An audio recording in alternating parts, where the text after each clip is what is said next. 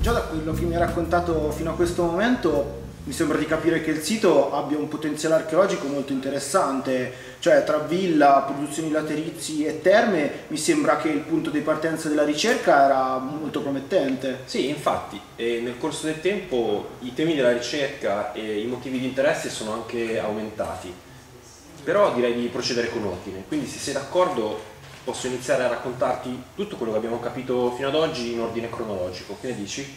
Ma mi sembra un'ottima idea. Eh, allora da dove iniziamo? Io direi di iniziare da qui, dall'ambiente 5. Beh, In questo ambiente, che ci sembra essere uno spazio esterno, abbiamo ritrovato le tracce del paleosuolo e dell'insediamento più antico.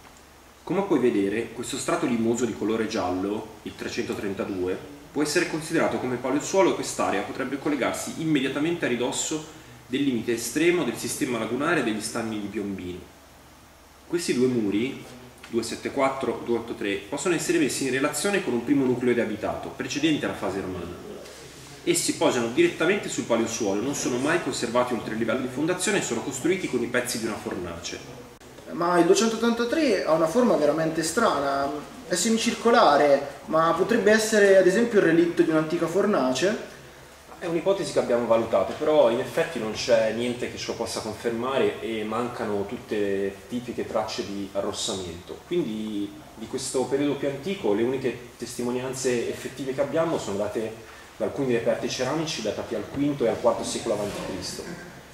Questa ceramica però proviene dalle ricognizioni, quindi ci dà soltanto un'indicazione cronologica e non sappiamo collocarla precisamente all'interno del sito e speriamo che nel corso delle prossime campagne di scavo usciranno altre informazioni su queste fasi più antiche dello scavo.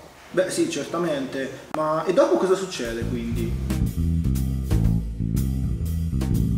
Dopo ci sembra di vedere arrivare i romani.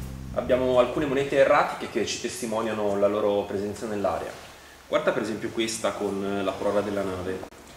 Mm, mm, questa mi sa che l'ho già vista. Eh, si data per caso alla, verso la metà del III secolo a.C.? Sì, esatto, e anche le altre monete che abbiamo rinvenuto in questa zona si datano più o meno al III secolo a.C. A questa fase di prima romanizzazione assegniamo anche questi due muri nell'ambiente 5, il numero 17 e 18. Anche loro, come i precedenti, sono stati costruiti direttamente sul terreno vergine e poi rasati a livello delle fondazioni. In questo caso però la loro tecnica costruttiva ricorda molto da vicino quella utilizzata nello stesso periodo a Populonia. Quindi potrebbero essere parte di una struttura di dimensioni considerevoli, forse un impianto produttivo. Se poi prendiamo per buona la data che ci forniscono le monete, potrebbe arrivare a una conclusione davvero interessante. Ovvero? Beh, le tracce di questo insediamento si collocherebbero più o meno nella stessa epoca della presunta costruzione della via Aurelia nel territorio di Populonia e quindi sarebbero una testimonianza diretta della romanizzazione in questa area. In più tutto questo è particolarmente interessante alla luce di quello che succede nel sito nei periodi successivi. Ma quindi devo pensare che l'Aurelia abbia un ruolo molto importante in quest'area. E come? Ma ora andiamo a vedere più nel dettaglio. Allora non vedo l'ora di sapere il resto. Dai, racconta, non fammi aspettare. Con calma, con calma, una cosa per volta. Per iniziare ti posso dire che questa fase è ben attestata da questa struttura. Come vedi è disposta secondo un asse est-ovest ed è racchiusa all'interno dei grandi muri di cui ti ho appena raccontato. Si riconosce bene perché i suoi muri, che sono legati da terra, sono formati da pietre di dimensioni minori rispetto a quelle del periodo precedente. Ma vedo che è diviso in più ambienti. Ma che cos'è?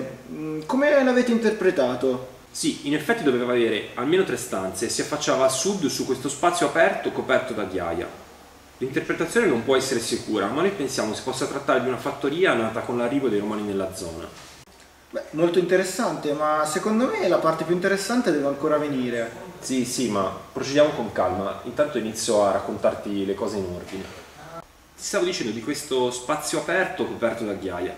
Sicuramente è uno dei punti nodali per quanto riguarda questa fase del sito, perché quando c'è la fattoria è un cortile, mentre successivamente potrebbe essere una strada. Inoltre, le trincee scavate nel 2004, più a sud dell'attuale limite di scavo, ci hanno fatto ipotizzare che l'area occupata da questo cortile potrebbe essere raddoppiata e non bisogna nemmeno scartare la possibilità che dall'altra parte si possa trovare un'altra fattoria. Beh, se nella prossima campagna scaveremo ancora verso sud lo sapremo sicuramente, ma questa, per questa fattoria avete una datazione in linea di massima? Sì, sì, ci siamo, ci siamo fatti un'idea. Sicuramente questa fattoria vive piuttosto a lungo, perché all'interno vediamo sia un rialzamento dei piani pavimentali sia la ridefinizione degli spazi interni. La cronologia assoluta dovrebbe essere compresa tra la metà del III secolo e il primo secolo a.C. Bene, quindi mi sembra che le fasi del sito siano abbastanza chiare. Certo, queste, più antiche, queste altre più antiche sono meno indagate ancora, però mh, mm, mi sembra la strada sia quella giusta.